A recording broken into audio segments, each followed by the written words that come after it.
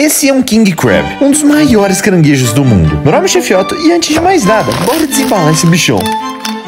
E meu Deus, olha o tamanho desse caranguejo. E é incrível ver como a natureza faz coisas lindas desse jeito. Mas eu vou te falar que o preço não foi tão lindo assim. E eu acho bom lembrar que todos os animais que se foram pra gente se alimentar merecem ser comidos com respeito. Mas então bora lá. Pega a maior panela que você tiver, enche de água com uma mangueira, taca bastante sal e cozinha o caranguejo por uma hora. Depois você despedaça e quebra ele inteiro para conseguir pegar a carne que fica dentro. E o meu jeito favorito de comer ele é num pão com cream cheese, abacate, um vinagrete apimentado e o caranguejo com azeite. E nossa, se um dia você tiver a chance de experimentar, eu super recomendo.